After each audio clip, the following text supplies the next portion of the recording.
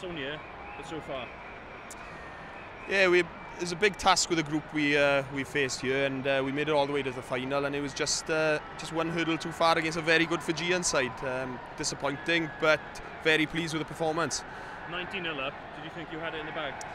No, I never think that. In a, a 10 minute half to go, um, and we always knew we'd, we'd have to weather a storm against Fiji. They made a few changes which added energy, and they were clinical in that first two three minutes of the second half, which brought the game back to them.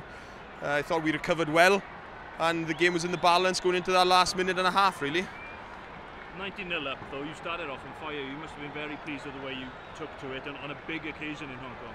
Yeah, we were very conscious of just gaining the ball, really, but the boys made great use of it, and you know they were efficient in what they did. When they got into space, they, they took that space positively, and um, it put us in, into that position, which was a great start, and uh, and kicked us on really to to perform in a game that uh, that was there for the taking.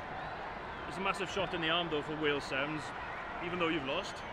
it's a positive tournament on the whole, and you can push on from here now. It's a huge boost for us. Uh, we were disappointed in Las Vegas and Wellington in the last legs. Uh, we've worked hard over the last five weeks on a lot of technical, physical attributes. So th th this is a massive boost. It's the first time we've made a uh, semi-final uh, semi here, and the first time we made a final on the World Series. Uh, so that, that can't be ignored, and, and the boys, you know, they weren't far off from, from gaining the cup. You've lost a bit of experience uh, players like Ivan and Richard Pugh isn't here, Rhys Shellard isn't here. Nevertheless, the young boys who stepped up have made an impression and made an impression in front of very important gentlemen in the crowd today as well.